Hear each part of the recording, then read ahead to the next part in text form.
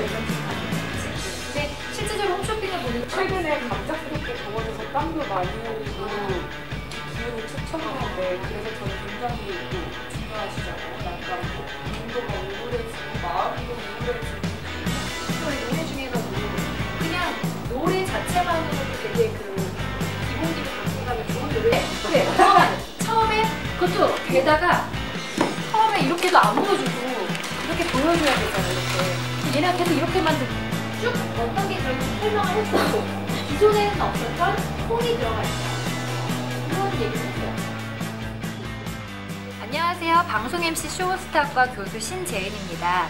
어, 여러분 방송인의 꿈을 갖고 노력하다 보면 물론 좀 힘들 때도 있고 지칠 때도 있고 고민도 많으실 텐데요. 꿈이 있다면 도전하신다면 꼭 방송인의 꿈을 이루실 수 있을 겁니다. 서울종합예술학교 화이팅!